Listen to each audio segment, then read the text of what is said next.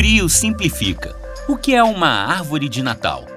Não, não é aquela cheia de presentes e pisca-pisca, mas o centro de controle de um poço de petróleo e gás, podendo ser chamada de árvore de Natal seca ou molhada, dependendo de onde é instalada na unidade de produção. A árvore de Natal é um conjunto de válvulas, medidores e dispositivos montados no topo do poço com uma missão muito importante: garantir a segurança do poço.